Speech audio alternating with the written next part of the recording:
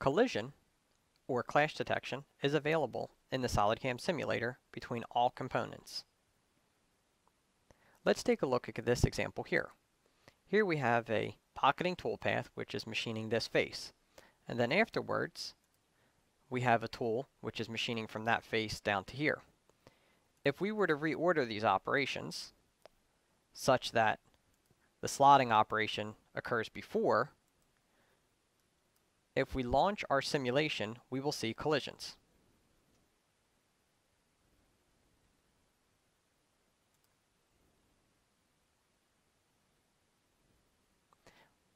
After the simulation is played, you can see information about the collisions. There's a note here that's saying collisions are detected. We can hover our mouse over any of the markers. These markers are created at the toolpath positions where the collision occurred. If you hover over the collision, you can see detailed information about the collision, such as whether the arbor and stock collided, whether the cutting collided during a rapid movement, or whether there was a collision between a fixture and a cutting part of the tool or an arbor or a holder. You can highlight the marks and click on them to toggle between the start and end of the clash.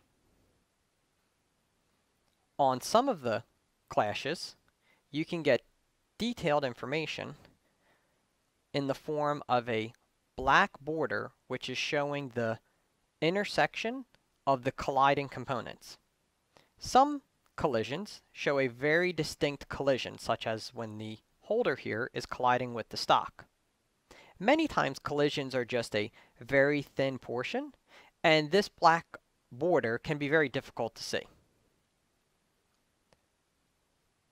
You can also double click to reposition the simulation to that point and continue playing from that position. Collision detection is enabled or disabled in the menu or the theme editor. And you can also have an option to stop the playback on a clash, such that if we restarted the simulation, at the first collision, the simulation will stop.